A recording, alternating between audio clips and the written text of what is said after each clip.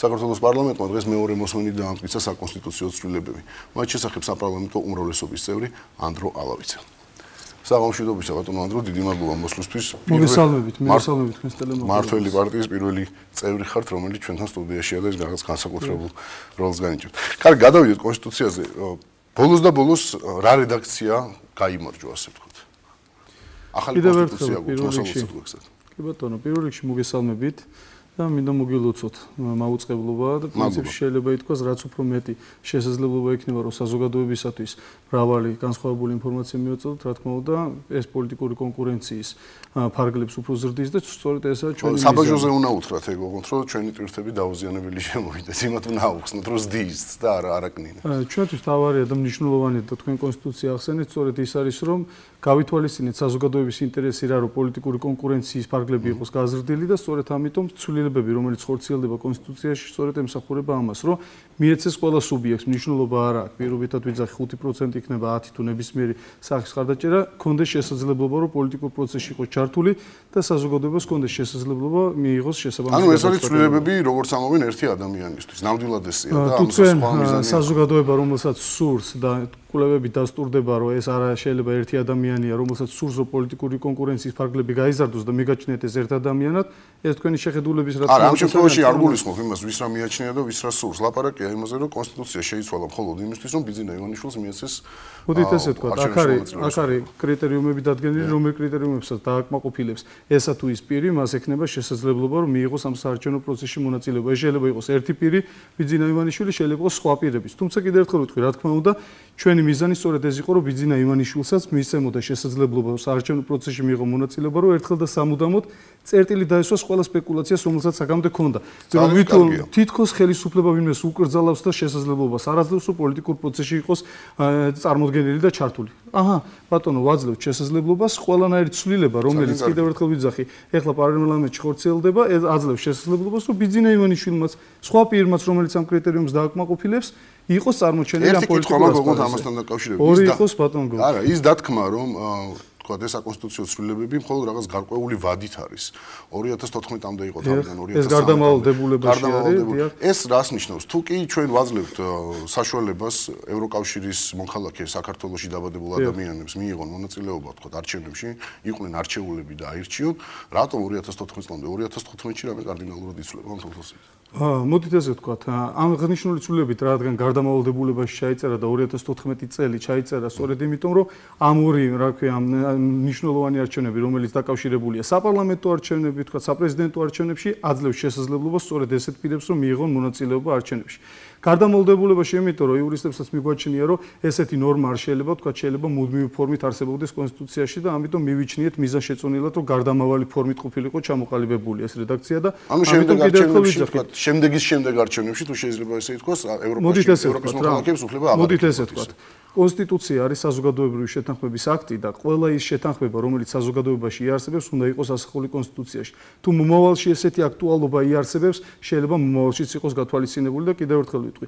ჩვენთვის თავარი არის საზოგადოების ინტერესს ვატარებდეთ და ყველა ნებისმიერი ცვლილება იქნება თუ ნებისმიერი შეთანხმება, რაც მე უკვე ვახსენე, უნდა იყოს ასახული შესაბამის სამართლებრივ აქტებში. ამიტომ კიდევ ერთხელ ვიძახი, ჩვენ მაქსიმალურად ვცდილობთ, რომ საზოგადოების ინტერესი იყოს გათვალისწინებული ყველა ამ სამართლებრივი რეგულაციის მიღებისას. ძალიან კარგია, მაგრამ აი ამ ცვლილებამ რომ უკვე გამოიწვია, მოდით ჯერჯერობით სპეკულაციები დავარქვათ, მე რომ ნახოთ როგორ განვითარება მოვლენები, იმასთან დაკავშირებით რომ ვთქვათ უეცრად არჩევნებში მონაწილეობის უფლება მიიღო გაურკვეველი რაოდენობის ადამიანებმა, რომლებიც ახლა ევროკავშირის მოხალხეები არიან. თუ გაქვს წარმოქმნა დაახლოებით რამდენ ადამიანს მიეცით ამით არჩევნებში მონაწილეობის უფლება?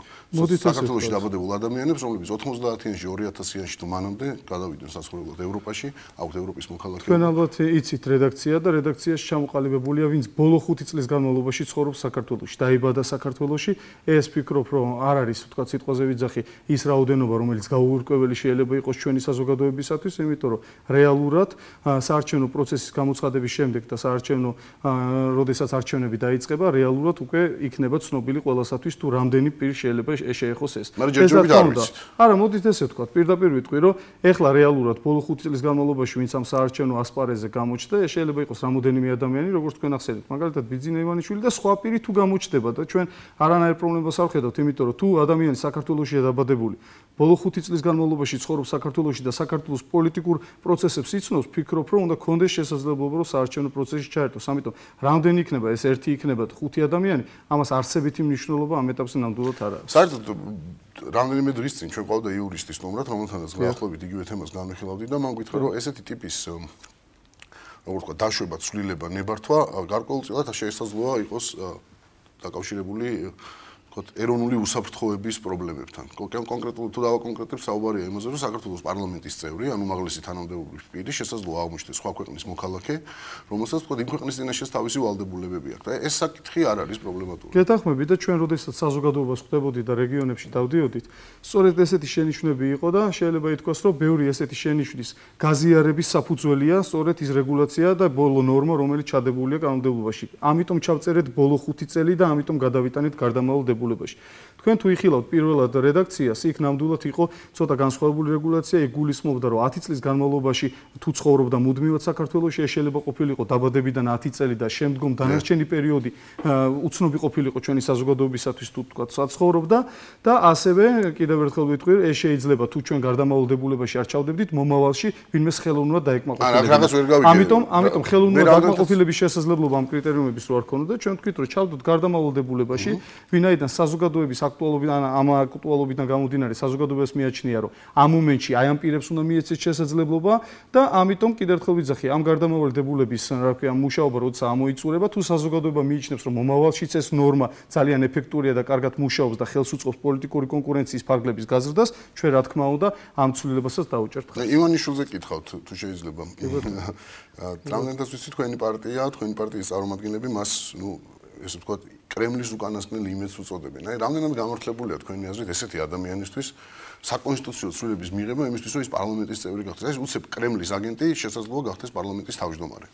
მოდით ესე ვთქვა, ადამიანზე, რომელსაც თქვენ ახლა საუბრობთ, ბიძინა ივანიშვილი. მე მაგალითად ჩემი მოსაზრება გამაჩნია და ალბათ ჩვენ ბევრ თანამოქალაქეს ადამიანი, როდესაც იტყვის, რომ რუსეთი უფრო დემოკრატიულია ვიდრე საქართველო და მთელი სხვა რიგი საკითხები, რომელზეც ქონდა საუბარი, კიდევ ერთხელ ვიძახი, შეიძლება ვიღაცისთვის მაგალითად ჩემთვისაც მე ვთვლიდე, რომ ის არ უნდა მონაწილეობდეს ზოგადად ვიძახი საარჩევნო პროცესში, მაგრამ საზოგადოებას მიაჩნია, რომ პოლიტიკური კონკურენციის ფარგლები უნდა იყოს ღია და შესაძლებლობა მიეცეს საქართველოსი დაბადებულ ადამიანს, რომ მან მონაწილეობა მიიღოს ამ პროცესში. ამით ამიტომ ჩვენთვის თავარი არის საზოგადოების აზრი და არა ის თუ რას ფიქრობს ანდრო ალავიძე.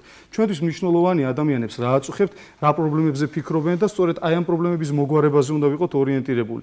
ისეთი როგორიც არის თქვენ იცით, ძალიან ბევრი ადამიანი დღეს მაგალითად არ არის დაზღვეული და ჯანდაცვის უზრუნველყოფის და მისთვის ხელისუფლების პრობლემები მოსაგვარებელია.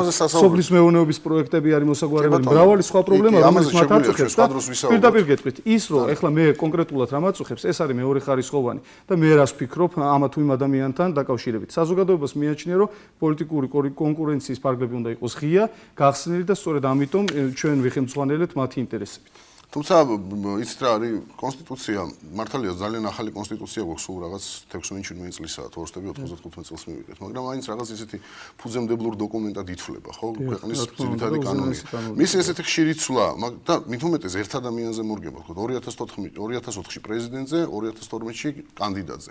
ცოტა უხერხულობას არ ქმნის. აი წმინდა ადამიანო თქვენ ხო ახალგაზრდა კაცი ხართ აი. უბრალოდ ადამიანურად ეჭიდებით ისეთ რაღაცას, რასაც ქვია საქართველოს კონსტიტუცია და ესე უცებ. გადააკეთებთ, გადმოაკეთებთ, გადააკეთებთ. არა, მოდით ესე ვთქვათ, ესე არ შეიძლება ესეთი ეპიტეტები ვთქვათ მოვიხსენიოთ, თუნდაც კონსტიტუცია, რაზე თქვენ საუბრობთ, გადააკეთება, გადმოაკეთება. ეპიტეტები არ შეიძლება, გადააკეთება შეიძლება. არა, გეტყვით, მარტივად გეტყვით. მე აღნიშნე კიდევაც, რომ კონსტიტუცია ნამდვილად არის ჩვენი უზენაესი კანონი და ის წარმოადგენს საზოგადოების თანხმობას, კონსენსუსს ამა თუ იმ საკითხებთან დაკავშირებით. თუ საზოგადოებას განსხვავებული მოსაზრებები შეიძლება გააჩნდეს ამა თუ იმ საკითხთან დაკავშირებით, რომელიც აუცილებლად კონსტიტუცია კონსტიტუციაში უნდა ისახოს, ჩვენ საზოგადოების ინტერესებით ხელმძღვანელობთ სწორედ და ესეთი ცვლილებებს ვახორციელებთ კონსტიტუციაში. თქვენ იურისტი ხართ ხო? მე მე არა ვარ იურისტი, აი ესეთი კითხვა. ამიტომ პირდაპირ საზოგადოების სურვილი, რომ ბიზნეს ევროშულს მიიღო მონაწილეობა არჩევნებში.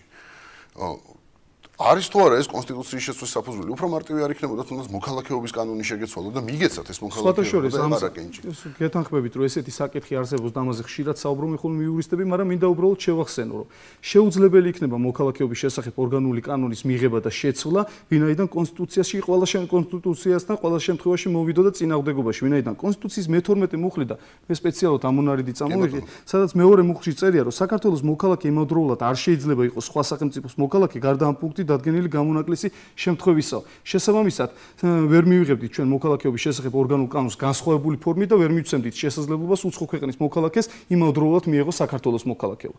აქენა გამომდინარე, ჩვენ მივმართეთ და მივეცით შესაძლებლობა რომ აერჩია სწორი სამართლებრივი გზა, თუმცა ამა თუ იმ ადამიანმა უარი თქვა ამ სამართლებრივ გზაზე, ამიტომ ჩვენა ვერ მივცემდით შესაძლებლობას რომ სპეკულაციებით იყო ყოფილიყო დაკავებული და საზოგადოება აეღელობინა ამ თემაზე და ჩვენ თქვით რომ მნიშვნელოვანია რომ პოლიტიკური კონკურენციის ფარგლები გაიზარდოს და საზოგადოება მიცოდეს რომ არახელისუფლებას სურს რომ ვინმე შეუზღუდოს საარჩევნო პროცესში მონაწილეობა, არამედ ცალკეული პირები მიზეზებს იგონებენ თუ როგორ არ მიიღონ მონაწილეობა საარჩევნო პროცესში. ამდულა და ეს ეხლა ეხლა ეს არ არის გასაგები ადამიანს უნდა მონაწილეობა თუ უნდა მაშინ წერტილი დაუსვათ და აგერ ვაძლევთ შესაძლებლობას და დავანებოთ თავი ყველაფერზე საუბარს და არჩევნებში ვილაპარაკოთ საზოგადოების პრობლემატიკაზე რაც ხალხს აწუხებს. ამ თემებზე ვილაპარაკოთ უმჯობესია მე რაც მაწუხებს მე იმაზე გესაუბრებ სიმართლე გითხრათ ეს თქვენ გაწუხებს და საზოგადოების პრობლემა ჩემი პრობლემა არ არის ბიზნეს ეონიშვილი მიიღებს არჩევნებში მონაწილეობას თუ არა ეს მისი პრობლემაა კერძო. მე ამ თვალსაზრისით მე ძალიან წყნარად აღუზნობ თავს. მე საქართველოს მოქალაქე ვარ და როცა მომიდება მაშინ მინდა კენს ვიყრი და მინდა ვიღაცას ავირჩი. ეს ამაზე ბიზნეს იონიშულა იდარდოს. საუბარი იმაზეა რომ შესაძაც მიდის იმაზე რა ადარდებს თქვა მოქალაქეებს, მე ერთი მოქალაქე ვარ. თავისთავად ისაც თქვენ ჩამოთვალეთ სოფლის მეურნეობა და ასე შემდეგ ძალიან საინტერესოა, მაგრამ აი ეს კონსტიტუციის ცვლილების თემა მადარდებს და ამიტომ საუბრობთ ამაზე. ანუ მე ვხედავ მე მე დამჭე ესეთი შტაბიჭდილება რომ კონსტიტუცია არის არ ვიცი საზოგადოებრივი შეთანხმების რაღაც ხაღალდია უბრალოდ იმ რომელსაც ესე გადააკეთებენ, გადმოაკეთებენ, ხარ რაღაცას ჩაწენენ, ხარ რაღაცას მიამატებენ, ხარ რაღაცას მოაკლებენ. მართლა ესეთი გზნობა, იმიტომ რომ მე მახსოვს 95 წელს კონსტიტუციის მიღების პროცესის კარგად მახსოვს, მაშინ დაახლოებით იგივეს ვაკეთებდი, რასაც ეხლა და მახსოვს რომ მართლაც დიდი საზოგადოებრივი კონსენსუსი იყო, იმიტომ რომ პარლამენტი იყო ისეთი დაქსაქსული ელემენტარულად თუ გახსოვთ ის იმოწვევის პარლამენტი დამეთანხმებით. ეხლა ეს ერთი ძალა ყველაფერს გადაჭრის გადმოჭრის. ამაზეა აქ ლაპარაკი, რომ ეს ეს არის ცოტა უხერხული თემა, თორე ის რომ ბიზნე ივანიშვილი მიიღებს არჩევნებში მონაწილეობას არ მიიღებს, ეს მეორადი პრობლემაა და ეს მისი პრობლემაა. არავითარ შემთხვევაში ახლა უბრალოდ ერთ რაღაცას გეტყვით რა. ნამდვილად მეორადი და მეათე ხარისხოვანი, იმიტომ რომ ხალხი დაიღალა ამ პროცედურებით. კიდევ ერთხელ ვიძახი, როცა არსებობს ბევრი ის პრობლემა, რომელიც საზოგადოებას აწუხებს და ბევრი ისეთი საკითხი არის, ადამიანს შვილი რო ყავს, მაგალითად ავადმყოფი და არის ის მედიკამენტები საიდან იშოვს, ამ თემის მოგვარებაზე და მის გადაჭრის გზებზე რომ ვისაუბროთ. უბრალოდ არა, მე მე მოვაგვარებთ აუცილებლად, სწორედ ამიტომ ვიძახით, რომ სექტემბერში ყველა პენსიონერი, ასაკით პენსიონერი იქნება დაზღვეული და 0-დან 5 წლამდე ყველა ბავშვი იქნება დაზღვეული. ყოველი მეორე მოქალაქე იქნება დაზღვეული და ჩვენ საქართველოს ჩვენს ქვეყანაში 2 მილიონი ნახევარი ადამიანი იქნება პირველი დაზღვევა მახსოვს მე დამთავრდა და პირდაპირ კომპანიის დირექტორი და ჩვენ ჩვენ პირველ რიგში არათუ ის რომ მარტო დავაზღვიეთ ადამიანები მხოლოდ ეს საზრუნავი არ იქნება. საბოლოო მიზანია რა თქმა უნდა ყველა ადამიანი იყოს დაზღვეული და შემდეგ რა თქმა უნდა გავზარდოთ მომსახურების პაკეტები. урგენტული დაფინანსება უნდა ამაზე სხვადასხვა ვისაუბროთ. კონკრეტული მომსახურების დაფინანსება. კონსტიტუცია კონსტიტუცია გადაკეთდება ისე როგორც საჭიროდ ჩაითვლება ყველაფერი ჩვენთვის გასაგებია. საზოგადოებისთვის ოდესაც იქნება მისაღები მაშინ იქნება ნებისმიერი ადამიანი საუბრობთ ამათო დროს ნიშნავს საზოგადოება. კიდე ძალიან ძალიან ბუნდოვანი ცნება. ეს იყო ანდრო ალოიძის საკონსტიტუციო ცვლილებების შესახებ.